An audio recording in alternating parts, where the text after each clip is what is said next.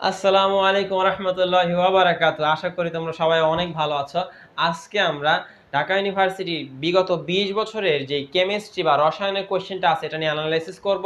পাশাপাশি তোমরা কীভাবে কোনো চ্যাপ্টারে যদি তোমার দুর্বলতা থাকে, তাহলে সেই দুর্বলতাকে কীভাবে কাটাবা এবং এই শেষ মুহূর্তে বা আর সামনে তোমার কাছে এক দেড় মাস বা দুই মাস সময়ের মতো আছে এই সময়ের মধ্যে তুমি কীভাবে করলে কেমিস্ট্রি থেকে একটা ভালো আউটকাম পেতে পারো?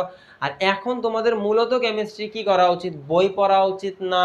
কোয়েশ্চেন সলভ করা উচিত? কোয়েশ্চেনগুলো কীভাবে সলভ করা উচিত? বা পরীক্ষাটা কীভাবে দেওয়া উচিত? এই সংক্রান্ত সকল আলোচনা আমরা আজকের এই লেকচারটাতে করব। আশা করি তোমরা সবাই খুব মনোযোগ দিয়ে দেখবা। তো এখন আমরা এখানে যেটা করেছি, ঢাকা বিশ্ববিদ্যালয়ে বিগত বিশ বছরের যতগুলো রসায়নের চ্যাপ্টার আছে, সেই চ্যাপ্টারগুলোর কোয়েশ্চেন নিয়ে আলোচনা করা হয়েছে।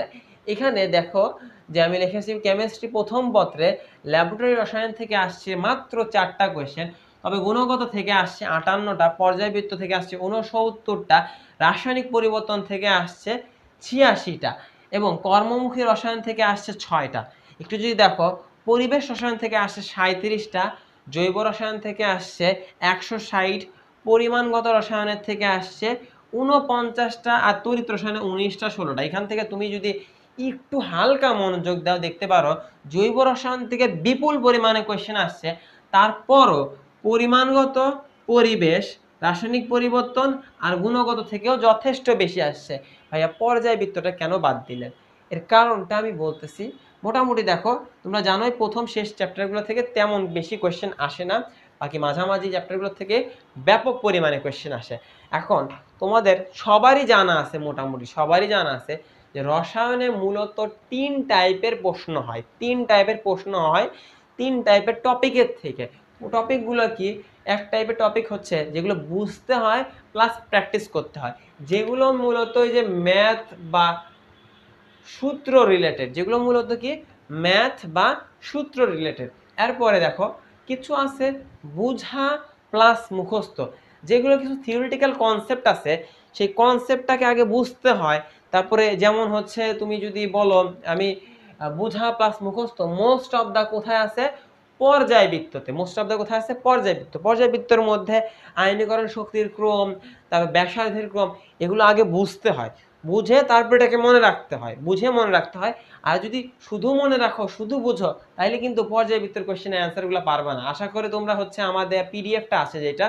যেটা আমি এই চ্যানেলের কমিউনিটিতে দিয়ে রাখছি, যে একটা পোস্টের মধ্যে পিডিএফটা ফার্স্ট পেপার এবং সেকেন্ড পেপারে সেইটা অনুসারেই কিন্তু এই নাম্বারিংগুলো করা হয়েছে। সেটার মধ্যে যে চ্যাপ্টার ওয়াইজ কোশ্চেনগুলো আছে, সেটার মধ্যে প্রথমে এই যে ল্যাবরেটরি চারটা আছে, আটান্নটা আছে এইভাবে সিরিয়ালি আছে।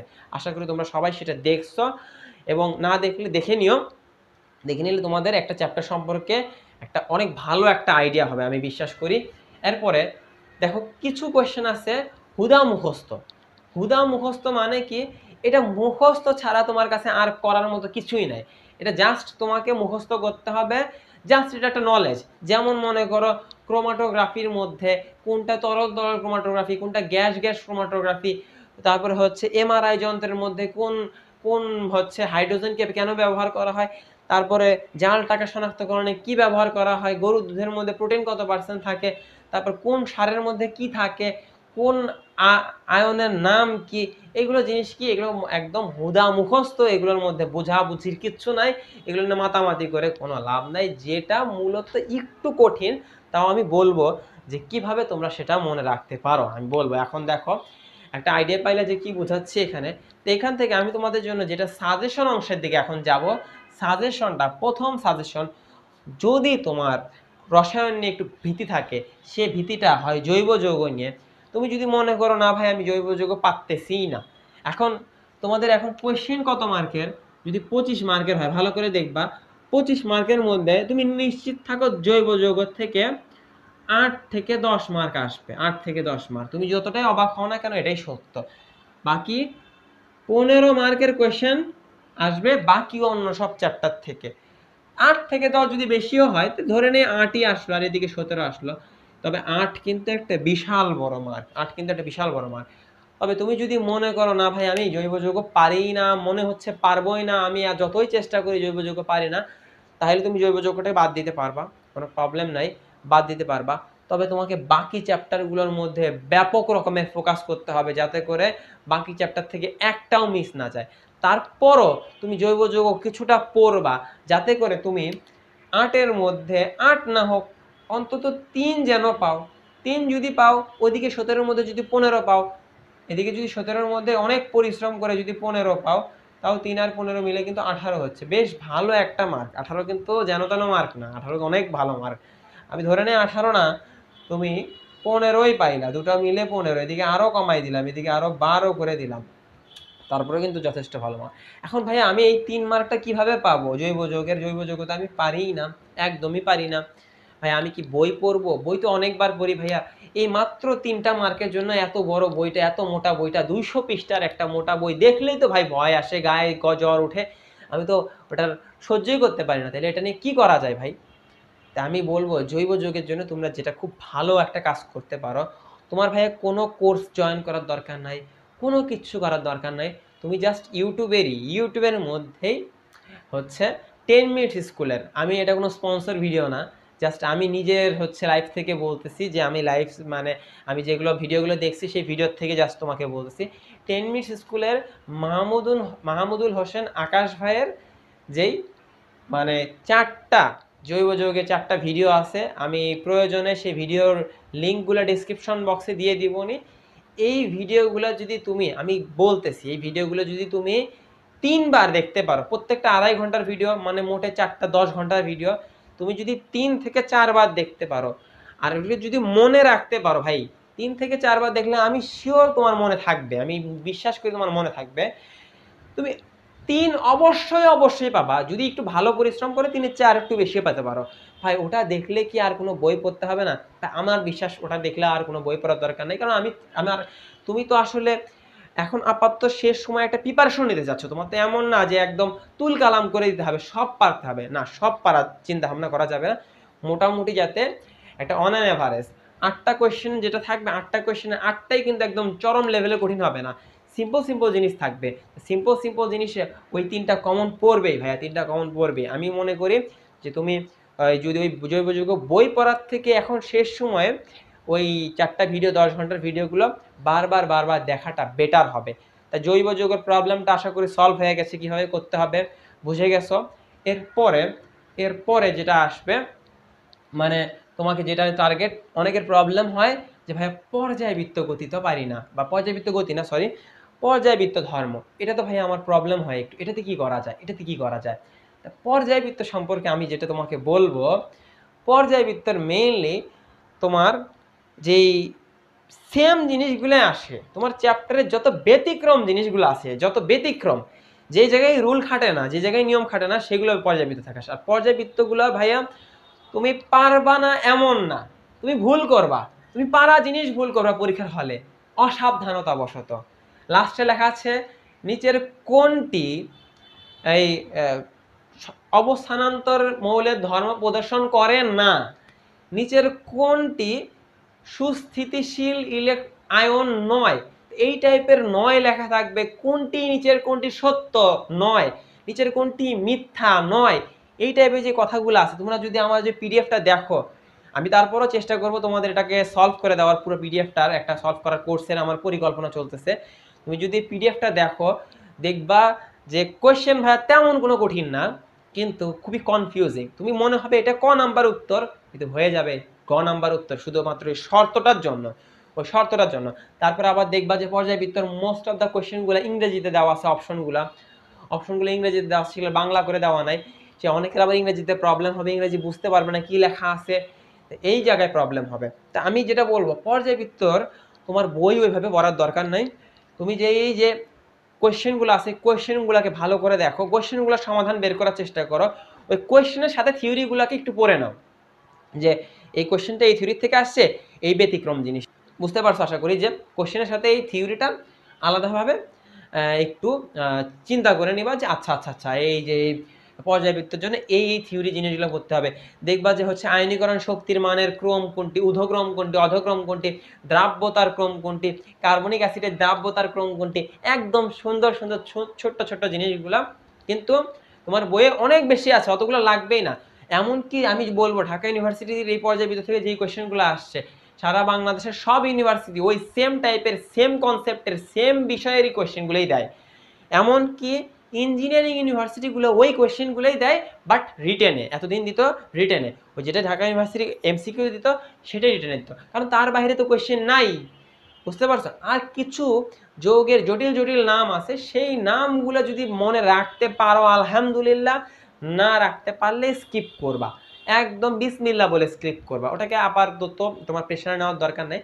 তুমি তোমার টার্গেটটা হইল হচ্ছে অর্ধেকের চেয়ে একটু বেশি মার্ক পাওয়া, যে পঁচিশের মধ্যে তুমি যাতে আঠারো, উনিশ, বিশ মতো মার্ক পাও।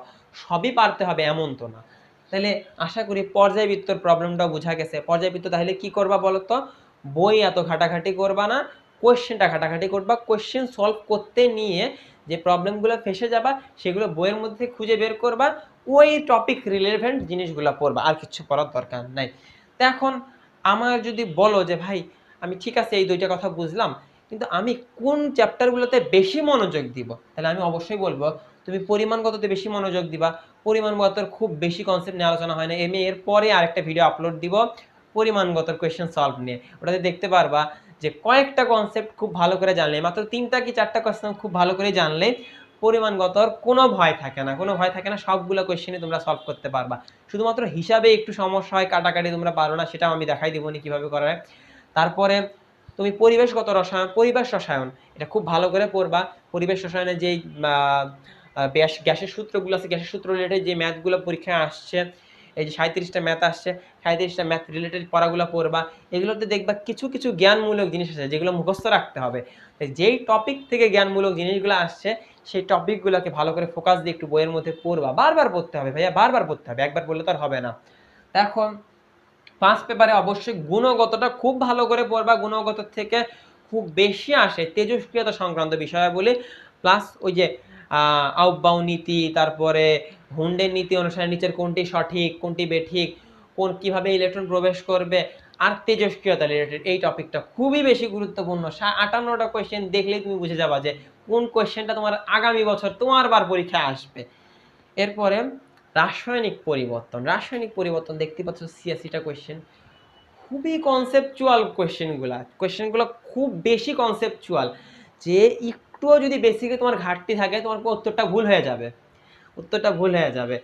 তবে তারপরও রাসায়নিক পরিবর্তনের অল্প কিছু টপিক আছে। টপিকগুলো বারবার প্র্যাকটিস করতে হবে। তবে প্রবলেম হইল রাসায়নিক পরিবর্তন। এত বড় একটা চ্যাপ্টার তোমরা যখন একাডেমিক লাইফে এটা পড়ছিলা, অনেক কিছুই তোমরা মিস করছিলা।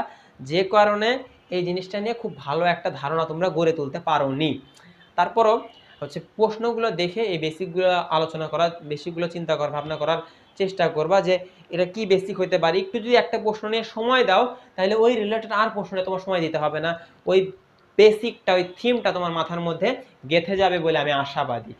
এরপরে যদি আমি বলি যে মোটামুটি এই দুটা চ্যাপ্টার খুব ভালো করে পড়বা, জৈব যোগের জন্য বললাম, ওই ভিডিওগুলো খুব ভালো করে দেখবা। পাশাপাশি পর্যায়বৃত্ত কোয়েশ্চেন দেখে কোয়েশ্চেনের সাথে বইয়ের থেকে খুঁজে বের করার চেষ্টা করবা। আর হচ্ছে যেটাই করো না কেন, এগুলো জিনিস বারবার বারবার করতে হবে। তাই ভাইয়া, এটা তো গেল ঢাকা ইউনিভার্সিটির জন্য।